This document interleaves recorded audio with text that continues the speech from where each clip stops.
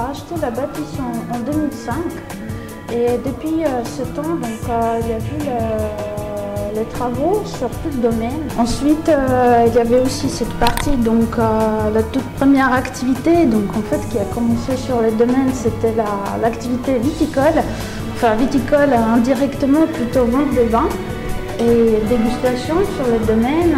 Donc, c'est là que c'est enfin démystifier les, projets, donc parce que les, gens ont pu passer par les portails et découvrir qu'en fait euh, euh, bah, il y a quelque chose derrière ces portails et que c'est un projet magnifique.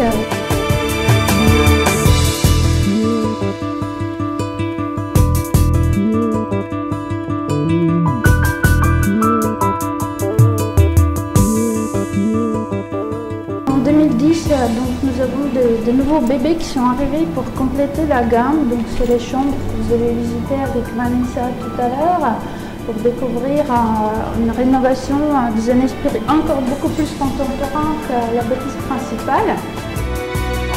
Les huit nouvelles chambres en, en duplex.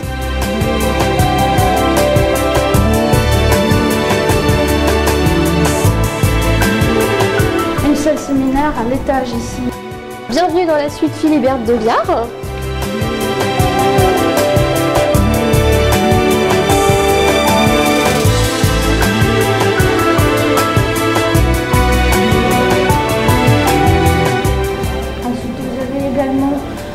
La, la- bâtisse euh, donc, euh, de l'ancien Tinalier.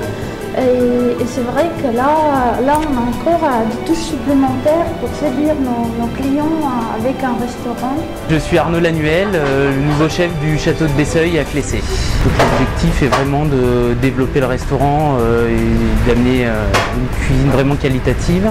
Et donc, euh, je suis accompagnée par, par une équipe extraordinaire qui est sur place et qui est organisée euh, par Laurent Simonet justement dans, dans le quotidien. Je suis Laurent Simonet, donc de formation, je suis sommelier et donc euh, depuis plus de 20 ans, je travaille dans l'hôtellerie-restauration. Hôtellerie-restauration étoilée Michelin et haut de gamme. Depuis 2009, je suis ici euh, pour euh, l'activité vitivinicole et pour euh, présenter les vins aux différents clients qui viennent ici. Le château d'Essaï 2007, direct laissé. Donc sur 2007, on a encore beaucoup de fraîcheur, une belle acidité. Donc euh, c'est 4 hectares de vignes actuellement, qui sont tous en agriculture biologique. hein. On a donné la, la partie vitivinicole à Jean Thévenet, qui est un grand nom du vignoble mâconnais.